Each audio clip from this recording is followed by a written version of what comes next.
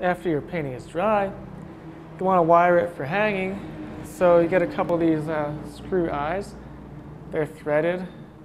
And you can either drill out where they go or hammer them in a bit.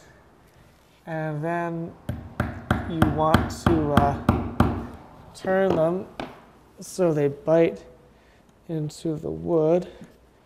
And uh, as it gets more in there, make sure they keep going straight. And as time goes on, you may want to use a screwdriver or other tool to help twist and turn them.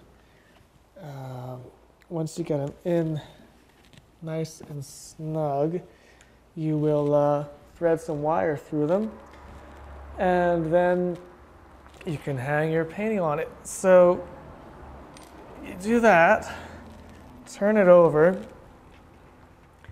and in the other side, get it the same distance. Drop it down, tap it in, and then give it a few good turns uh, it really bites into the wood and your painting will have two secure screw eyes in it ready to hang.